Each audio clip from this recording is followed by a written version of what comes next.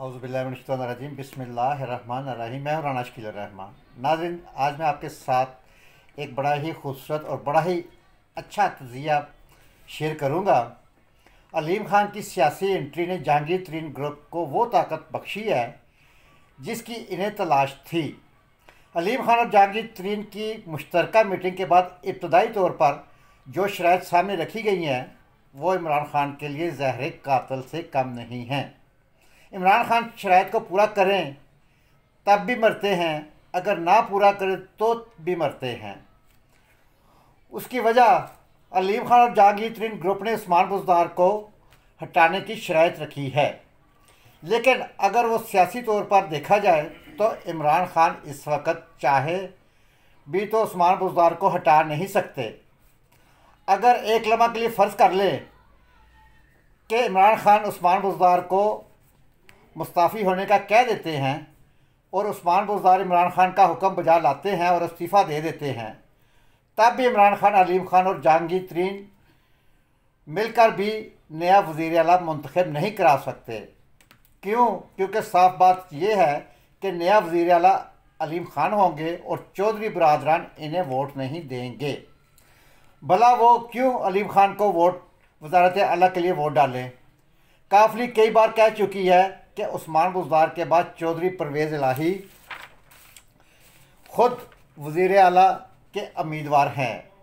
और आजकल तो चौधरी परवेज़ इलाही तकरीबन वज़ी अला बने ही बैठे हैं, बल्कि याद होगा नाजरीन, पिछले दिनों एक शादी के मौका पर कुछ साफियों ने उन्हें मज़ाक में कहा कि, सर, आपने तो शेरवानी भी सिलवा ली होगी। तो उनकी तकरीबन समाइल ये बता रही थी कि शेरवानी सिल चुकी है। ऐसे में वो किसी और को वजारत अला का वोट देने के लिए कैसे तैयार होंगे? इसलिए एक दफ़ा उस्मान बुजदार ने इस्तीफ़ा दे दिया तो इमरान खान के हाथ से पंजाब निकल जाएगा। और इमरान खान और तारीख इंसाफ के लिए दोबारा पंजाब में अपना वज़ीर अला लाना मुमकिन नहीं होगा। इसलिए ये शर्त पूरी नहीं हो सकती। इस शर्त के पूरी होने की सूरत में अलीम खान और जहांगीर खान ग्रुप अपोजिशन के साथ मिलकर अपना वज़ीर अला लाने की कोशिश करेंगे। ये मुमकिन है कि इस वक्त अपोजिशन पंजाब में ऐसी पोजीशन में है अगर अलीम खान के सर पर हाथ रख दे तो वह वज़ीर अला बन सकते हैं। लेकिन इस ज़रूरत, इस सूरत में बदले में जहांगीर तरीन और अलीम खान को मरकज़ में वज़ी अजम के ख़िलाफ़ तहरीक अदम अतमाद पर अपोजिशन को वोट देने होंगे। मुफ़्त में वजारत आला तो नहीं मिलेगी। इसी सूरत में मरकज़ में तहरीक अदम अतमाद की कामयाबी यकीनी नज़र आती है। इसलिए जहांगीर तरीन और अलीम खान दोनों की मंजिल अपोजिशन का कैंप ही नज़र आ रहा है, जहाँ से इन्हें दिल की मुराद मिल सकती है। और नाजिन आगे चलते हैं कि काफ लीग ने फैसला करने में काफ़ी देर कर ली। आप मेरी इस बात से इतफाक़ करेंगे। वैसे भी चौधरी मोनोसलाही के इमरान खान की तरफ़ झुकाव ने खेल को ख़राब किया है। जब सारी अपोजिशन क्यादत चौधरी ख़ानदान के घर पहुँच गई थी तो इन्हें फैसला कर लेना चाहिए था। चाहे ताखिर ने चाहे ताखीर ने मुतबादल ऑप्शन पैदा कर दिए हैं। अगर वो किसी इशारे के इंतज़ार कर रहे थे तो शायद वो ये नहीं समझ सके कि इस बार इशारा नहीं मिलेगा।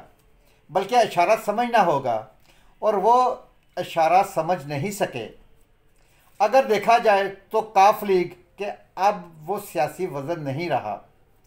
जो चंद दिन पहले था, अब्दुल अब्दुल अलीम खान और जहांगीर तरीन ग्रुप के एतहाद ने इनके सियासी वज़न में काफ़ी कमी कर दी है। इमरान खान की तारीख, जो तारीख इंसाफ है तस्बी के दानों की तरह बिखरती नज़र आ रही है।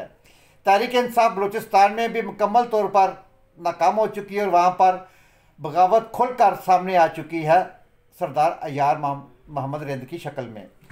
कराची तारीख इंसाफ के अरकान भी नाराज़ हैं कराची से, और वहाँ की सूरत पंजाब और बलूचिस्तान से मुख्तफ नहीं है।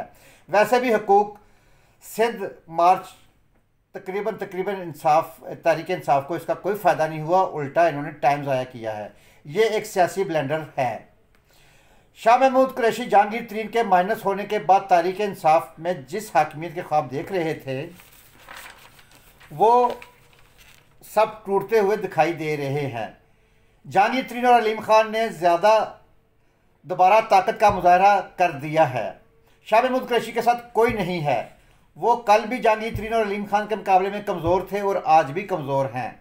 इनकी सियासी तनहाई, इनके सियासी जवाल बन रही है।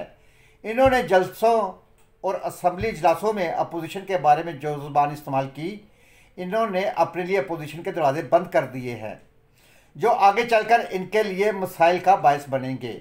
एक सवाल सबके जेन में ये था कि अपोजिशन तारीख अतमाद लाने में देर क्यों, लेकिन उन्होंने जो अपोजिशन में ये अपोजिशन रेकोजिशन पेश किया अदम अतमाद के ये देर क्यों कर दी, कर रहे हैं, जो कि कल पेश कर दी गई है। लेकिन दिन ब दिन ये चीज़ इनके हक में बेहतर हो रही थी। ऐसे में जल्दी क्या थी? रास्ते खुल रहे थे, जो कि सबने देखा, नाजीन आपने, अलीम खां की शक्ल में। इसलिए चंद दिन की देरी में कोई हर्ज नहीं है बाहिर देर लग रही है, लेकिन अगर अपोजिशन की नज़र से देखें तो इन्हें मंजिल करीब से करीब तक नज़र आ रही है। नाजरीन, हमजा शबाज को शबाज शरीफ ने ग्रीन सिग्नल दे दिया है पंजाब के हवाले से, को जल्द अज जल्द उसके बाद पंजाब में रकुल सिंह जमा कराएँगे और अदम अतमाद लाई जाएगी।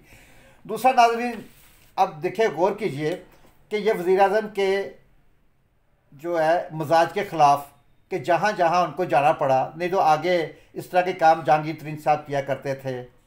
लेकिन आज उनके मजाज के ख़िलाफ़ वो एम क्यू एम के ऑफ़िस में गए हैं और वहाँ पे जाके उनके ज़िली दफ्तर खोल दिए गए हैं। जहाँ से मतलब कि ये किया जाता था या कहा जाता था कि तकरीबी जितनी भी कार्रवाइयाँ हो रही हैं, लेकिन अब वो आज दफ्तर सारे खोल दिए गए हैं। मतलब अपने इकतदार को बचाने के लिए कहाँ तक कंप्रोमाइज़ करना पड़ता है? नाजरीन, मेरे इस तजिए से अपनी राय ज़रूर दीजिएगा। अल्लाह हाफिज़।